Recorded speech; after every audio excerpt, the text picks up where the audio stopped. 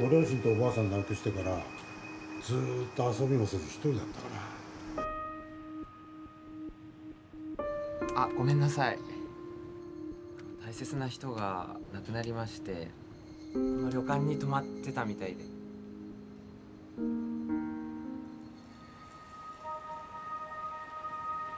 何か教えてもらえませんか？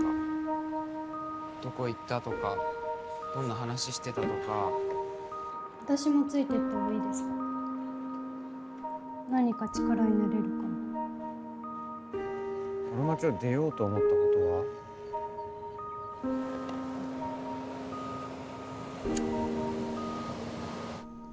来ますか？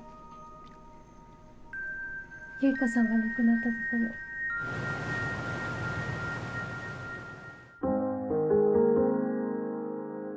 ろ。あんなに知りたかったのに。今知りたくない気がする。絶対のこと